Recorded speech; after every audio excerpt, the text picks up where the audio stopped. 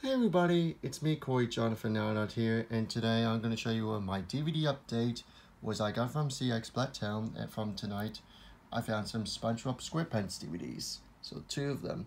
So I pick up the original instead, so let's begin. First up with we got is the tale from the, not sure what it is, let me know in the comments. So also rated G, they got SpongeBob and Patrick, so nice the front. There's spine for picture SpongeBob. And the back. Yeah, shows the many episodes. And uh, running time is 108 minutes. Takes a long time. Here's the discs.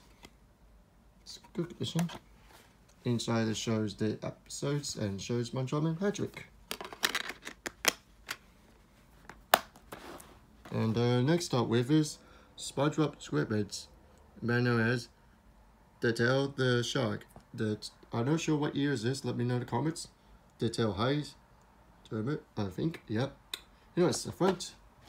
Will feature a Squidward. Focus. Focus phone. Here you go. And the back. Um, I'm not gonna bother to read the episodes or waste my time. And the runtime is 116 minutes. Here's the disc.